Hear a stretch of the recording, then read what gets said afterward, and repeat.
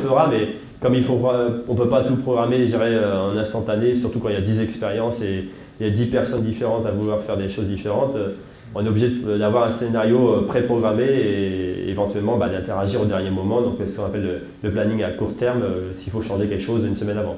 Et les retours, je suppose, de, de l'ordre représentent deux heures à peu près, les retours, plus le temps de réflexion. C'est pour ça qu'en fait, euh, comme je vous dis, le, planning à court terme, ça sera euh, téléchargé une semaine à l'avance. En gros, euh, on aura programmé les. voilà, donc ben, l'aller-retour, oui, c'est ça. Actuellement, on est à une heure là. Justement, quand ils ont allumé Virtis il y a quelques jours, il fallait attendre une heure pour avoir la, réponse, enfin, donc le temps d'aller-retour aux commandes envoyées. Quoi. Ma deuxième question concerne Philae, et notamment l'altitude de largage. Je crois savoir qu'il y a deux options différentes pour protéger Rosetta ou pas la hauteur de navigable, l'altitude.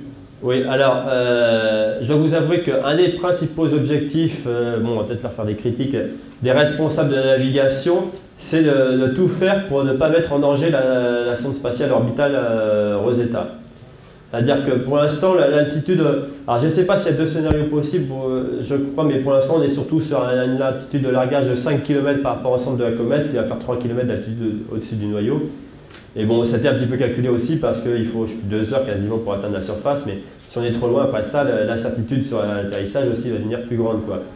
Mais euh, pour eux, pour la navigation, ce qui est important, c'est bon, on largue le lander et après ça, on met sur la, Rosetta sur une trajectoire hyperbolique par rapport au noyau pour être absolument certain.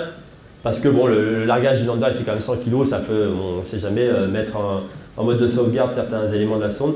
Et pour être certain de ne pas être sur une trajectoire qui risque de rentrer en collision avec la comète si on ne peut pas euh, reprendre le contact dans, dans les heures qui suivent. Donc euh, on va larguer le noyau à 5 km d'altitude et après ça on s'enfuit à 100 km pour être sûr de ne pas prendre de risque. Euh, J'ai une question au, tout début quand tu as parlé de l'histoire du système solaire. Au, tout début, tu as parlé de la résonance entre Jupiter et Saturne. Au début, il y avait une résonance 3,5. C'est ça, oui. Et ensuite, au moment du LHB, il y a eu une résonance 2,1. Exactement. Il, y a eu, donc deux types de résonance, c'est ça? Oui, oui. Alors, il s'est trouvé, après ça, je ne suis pas un dynamicien, oui, mais, euh, que la résonance. Euh, bah, Bon, 3,5 euh, a engendré ensuite une migration vers l'extérieur, alors qu'avant une migration vers l'intérieur, bon, bah, c'est. Mais bon, en général, les, résonances euh, sont des, choses qui, modifient beaucoup de choses dans le système solaire et qui influencent euh, donc, le mouvement des planètes. Et puis aussi, bon, la résonance 3,5 n'a pas été très perturbante pour les autres planètes, tandis que la 2,1 elle est beaucoup plus, par exemple. Est-ce que vous avez d'autres questions? Je crois que ça a été très clair. Non, il y a encore une question là-bas. Voilà, voilà, voilà.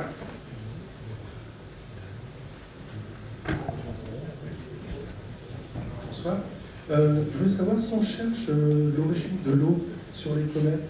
C'est-à-dire qu'on ne comprend pas la présence de l'eau sur Terre Elle ne peut pas être présente à bord de sa création, simplement ça fait partie des hypothèses. Euh, simplement, il y, a certaines hypothèses d'évolution des planètes qui nous disent que, bon, déjà, avant, avant ça, il euh, faut voir que quand les planètes se sont formées, en gros Jupiter était à peu près la limite, ce qu'on appelle la limite de la ligne des glaces. C'est-à-dire qu'au-delà de Jupiter, la température était suffisamment froide dans la nébuleuse pour que la vapeur d'eau se condense sous forme de glace, et plus près il faisait trop chaud. Donc ça veut dire qu'à ce moment-là, la Terre aura dû capturer l'eau sous forme de vapeur. Et euh, la molécule d'eau euh, étant quand même beaucoup plus légère, par exemple, ne serait-ce que le, que c'est une molécule qui s'échappe beaucoup plus facilement. D'ailleurs, Vénus, qui a une température d'atmosphère assez élevée, a perdu beaucoup d'eau. Donc euh, déjà pour la capture, c'est pas forcément évident. Après ça, il y a un autre élément qu'il faut prendre en compte, c'est qu'il y a environ enfin, 60 millions d'années après la formation du Soleil, il y a un impact majeur qui, qui aurait, enfin, le scénario actuel, c'est qu'un impact majeur d'un objet de la taille de Mars est venu euh, frapper la Terre et a donné naissance à la Lune. Donc euh, à ce moment-là, l'eau aurait pu être perdue aussi, parce que ça correspond à un énorme dégagement d'énergie et puis donc une perte importante de, l'eau. Donc c'est des éléments qui nous disent qu'il y, a des chances que la Terre se soit formée sèche. Tout le monde n'est pas forcément d'accord avec, ça, mais après ça, donc les, hypothèses, c'est que la Terre ne soit pas formée si sèche que ça. Elle a pu elle-même dégazer son eau qu'elle avait piégée dans des roches aussi. Ou alors que bon, bah, il y a des chances qu'elle a été apportée par soit des météorites euh, riches en, eau, les météorites malgré tout, il y en a qui comportent 10 à 20% d'eau dans leur masse, ou alors des comètes qui, elles, sont composées à plus de 50% de, glace d'eau.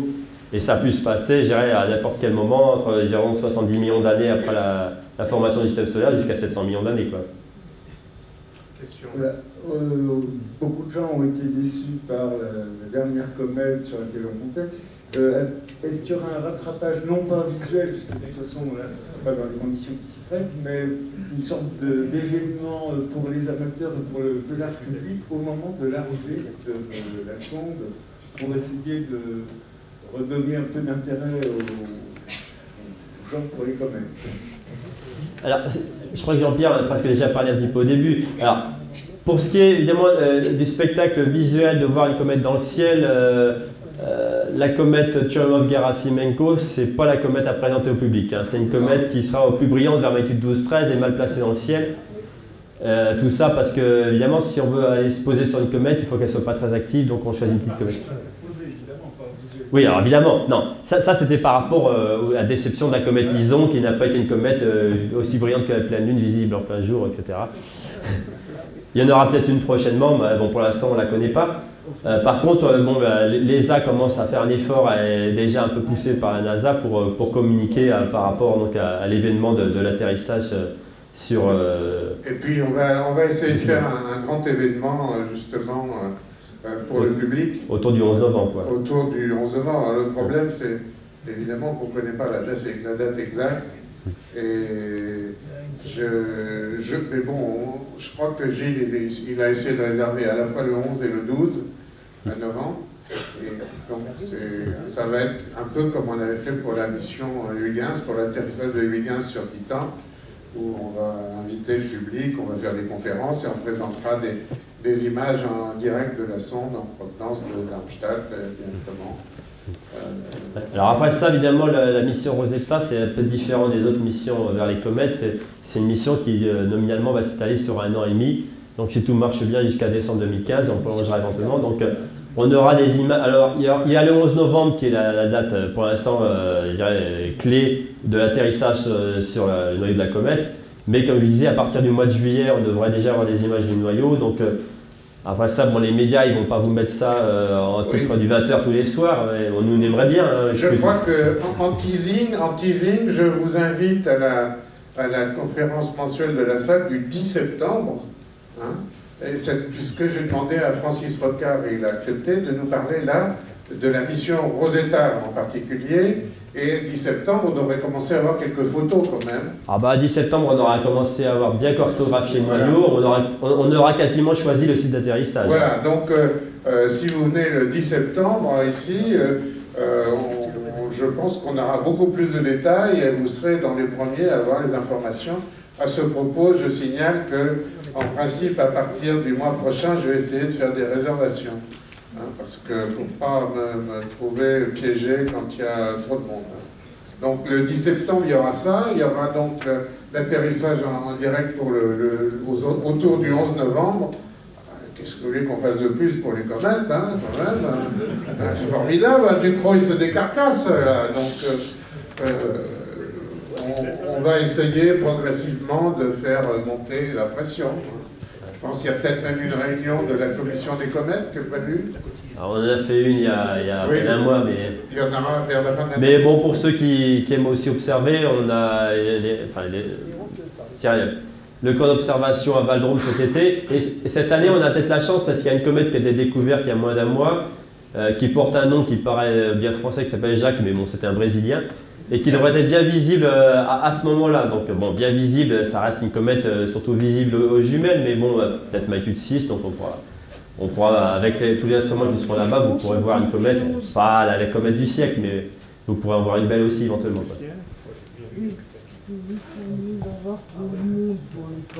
Oui. Parce que des fois, on dans physique, on allait à l'école, rue de l'école de médecine. Oui, oui. Vous pourriez peut-être voir. On va voir, on va voir. Suivant, On va essayer de trouver toutes les solutions.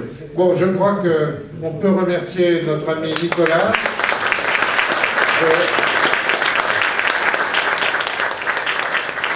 Je vous donne rendez-vous le 14 mai avec euh, Brigitte Alix qui va nous parler euh, de l'Astrolabe, qui nous en montrera. Vous pourrez euh, les toucher, les voir. et je vous souhaite une bonne soirée, un bon retour. Voilà.